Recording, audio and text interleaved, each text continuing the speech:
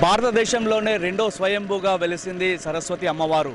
బాసర పుణ్యక్షేత్రానికి చాలామంది భక్తులు వస్తుంటారు. ఈ రాష్ట్రం నుంచే కాక ఇతర రాష్ట్రాల నుంచి కూడా పెద్ద సంఖ్యలో భక్తులు వచ్చి అమ్మవారిని దర్శించుకుంటారు. అయితే బాసరలో విశాలంగా ఉంటుంది గోదావరి. ఇక్కడ నౌకాయానం కోసం కూడా ప్రతిపాదనలు చేశారు. అయితే బాసర నుంచి ఎస్ఆర్ఎస్పి వరకు నౌకాయానాన్ని చేపట్టేందుకు అధికారులు ప్రణాళికలు కూడా చేపట్టారు. అయితే అది ప్రతిపాదనలకే పరిమితమయ్యింది.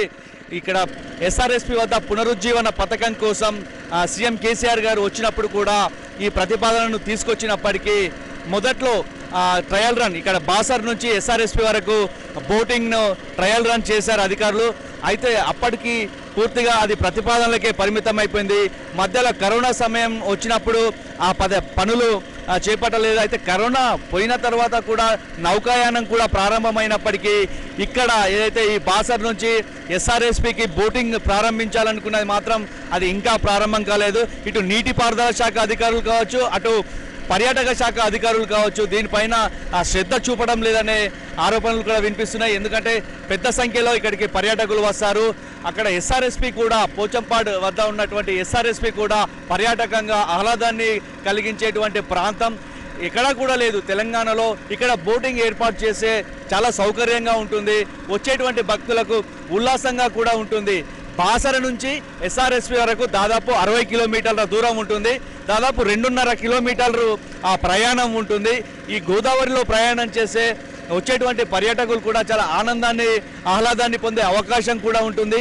ఇక మధ్యలో ఆ బ్రహ్మపురి ఉమ్మెడ కూడా అక్కడ కూడా చారిత్రాత్మకమైనటువంటి ఆలయాలు ఉన్నాయి మధ్యలో వాటిని కూడా దర్శించుకునే అవకాశం ఉంది. కానీ ఇప్పటి వరకు కూడా అది ఆ బోటింగ్కి నోచుకోని పరిస్థితి ఉంది. ప్రస్తుతం ఇక్కడ మనతో పాటు పర్యాటకులు కూడా ఉన్నారు. అలాగే స్థానికులు కూడా ఉన్నారు. ఈ బోటింగ్ ఈ నౌకాయానానికి సంబంధించి వాళ్ళని అడిగి తెలుసుకునే ప్రయత్నం చేద్దాం. చెప్పండి ఎట్లా అసలు ఇక్కడ బోటింగ్ ఏర్పాటు చేస్తే ఎట్లా ఉంటుంది? దక్షిణ భారతదేశంలోనే పవిత్ర పుణ్యక్షేత్రం వంటి మరి బాసర అమ్మవారు ఉంది మరి పవిత్రమైనటువంటి గోదావరి ఉంది. నేను బాసర స్థానికుడిగా నేను ఒకటే చెప్పగలుగుతున్నాను. ఇక్కడ టూరిజం ప్లేసు మరి ఇక్కడ చాలామంది మహారాష్ట్ర తమిళనాడు కర్ణాటక నుంచి మరి ఇతర రాష్ట్రాల నుంచి దేశ విదేశాల నుంచి కూడా మరి చాలా భక్తులు వస్తూ ఉంటారు కాబట్టి గోదావరి పరివాహక ప్రాంతంలో మరి ఈ పర్యాటక క్షేత్రాన్ని బోటింగ్ కానీ చేస్తే బాగుంటుంది. అదేవిధంగా ఇక్కడ మరి సరైనటువంటి సౌకర్యాలు లేదు. తెలంగాణ ప్రభుత్వము ఇప్పటి వరకు బాసరాని పట్టించుకున్న దాఖలాలు లేవు. మరి ఏ మంత్రి అయినా ఇప్పటి వరకు వచ్చి పోయిన దాఖలాలు కూడా లేవు.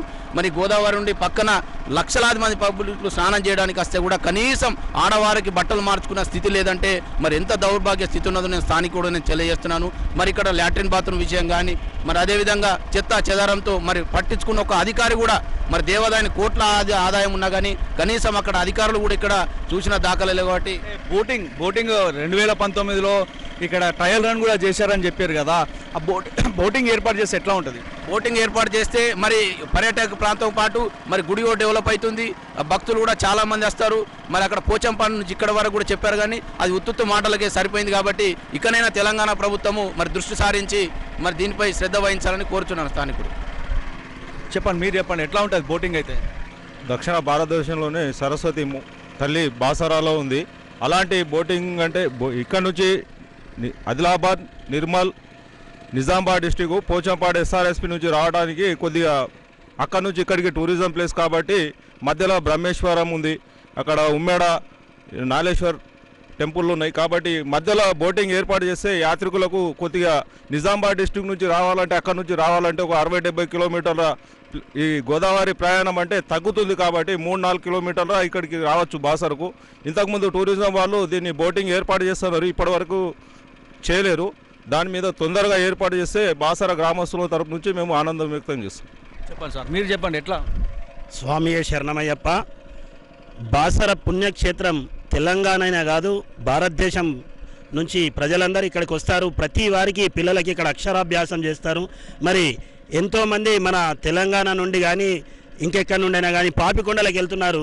అంతకన్నా మంచి పర్యాటక క్షేత్రంగా ఇక్కడ మారుతుంది. ఇక్కడ కనీస వసతులు సౌకర్యాలు ఆడవారికి బట్టలు మార్చుకునేదే కానివ్వండి టాయిలెట్స్ కానివ్వండి మనము ఇక్కడ ఏర్పాటు చేసినట్టయితే ప్రభుత్వం వారు శ్రద్ధ వహించినట్టయితే ఇక్కడ ప్రజలకు ఉపాధి కల్పించిన వారు కూడా అవుతారు. మరి ఇతర ఇక్కడికి వచ్చే యాత్రికులకు ఆహ్లాదాన్ని అందించిన వారు అవుతారు మంచి పుణ్యక్షేత్రం. దయచేసి ప్రభుత్వాలు చర్య తీసుకొని ఈ పుణ్యక్షేత్రాన్ని అభివృద్ధి చేయవలసిందిగా కోరుతున్నాం. ఇక్కడ మన బాసర పుణ్యక్షేత్రము భారతదేశంలో అతి పురాతనమైనది చాలా పవిత్రమైనది.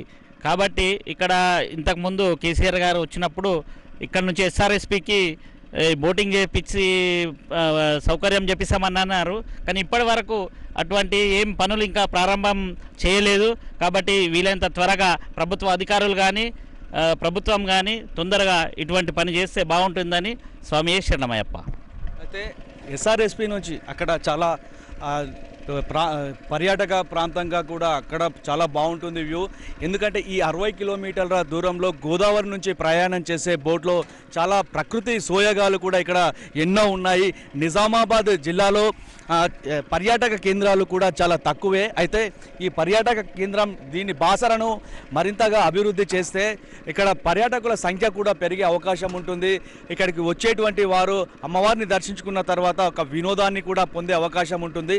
అయితే ఇక్కడ అర హైదరాబాద్ నుంచి వచ్చేటువంటి వారు చాలామంది వాళ్ళకు ప్రయాణంకు కూడా సౌకర్య సౌలభ్యంగా ఉంటుంది. ఎందుకంటే నిజామాబాద్ నుంచి వచ్చే వాళ్ళకు అలాగే హైదరాబాద్ నుంచి ఏదైతే జాతీయ రహదారి నలభై నాలుగు ఉంటుందో నేరుగా హైదరాబాద్ నుంచి వచ్చేటువంటి ప్రయాణికులు ఎస్ఆర్ఎస్పికి చేరుకోవచ్చు. అక్కడి నుంచి బోటింగ్ ద్వారా ఇక్కడికి బాసరకు చేరుకోవచ్చు. అంటే ఇటు సమయపాలన తగ్గుతుంది అలాగే బోటింగ్లో ప్రయాణం చేసే అవకాశం కూడా కలుగుతుంది. ఎందుకంటే ఈ న- గోదావరి నదీ తీర ప్రాంతం వైపు ప్రకృతి సోయగాలు కూడా చాలా అందంగా ఉంటాయి.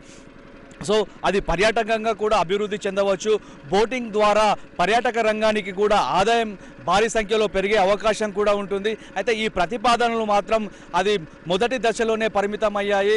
రెండు వేల పంతొమ్మిదిలో పర్యాటక శాఖ నీటిపారుదల శాఖ బోటింగ్కు సంబంధించినటువంటి ఈ ఏర్పాట్లను కూడా చేసినప్పుడు ట్రయల్ రన్ కూడా చేశారు. ఆ ట్రయల్ రన్ కూడా సక్సెస్ అయింది. కానీ తరువాత అది అక్కడికే మిగిలిపోయింది. ఈ బోటింగ్ ఏదైతే నౌకాయానం ఉందో ఆ నౌకాయానానికి సంబంధించినటువంటి ఎలాంటి పనులు మళ్ళీ ముందుకు సాగలేవు.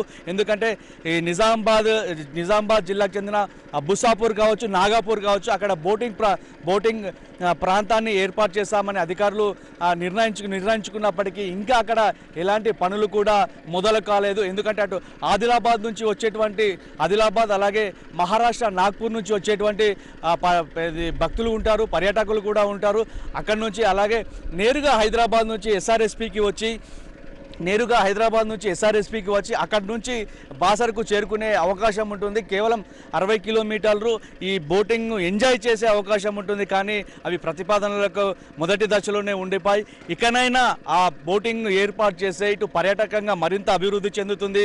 భక్తులకు ఆహ్లాదం కూడా కలుగుతుందని చెప్పేసి ఇక్కడ ఉన్నటువంటి స్థానికులు కోరుతున్నారు. అలాగే పర్యాటకులు కూడా ముక్తకంఠంతో చెప్తున్నారు. ఆ బోటింగ్ ఏదైతే ఉందో నౌకాయానాన్ని త్వరలోనే ప్రారంభించాల్సిన అవసరం ఎంతైనా ఉందని కోరుతున్నారు. శ్రీకాంత్ ఏబీపీ దేశం బాసర్